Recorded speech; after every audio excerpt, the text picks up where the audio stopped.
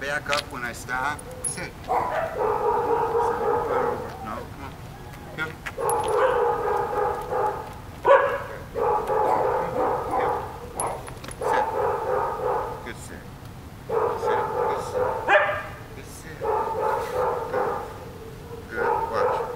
There's two positions. I'm trying to keep her in the heel position. She's a little distracted by the noises out here, heel. But this is where we go to. Heel. Good heel. Good heel.